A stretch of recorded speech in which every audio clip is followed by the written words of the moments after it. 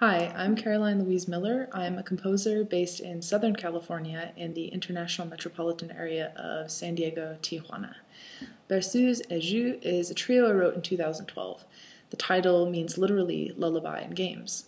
I'm very interested in dreams, especially dark dreams, and how day to day thoughts and sensations often get distorted through the dreaming mind. Throughout this piece, I wanted to follow this sensation of slipping from an awake state into a dream state so as the piece goes on, the words begin to fracture, and the musical texture becomes both more chaotic and more joyful. Anyhow, many thanks to Forest Collective for performing this work, and I hope you enjoy it.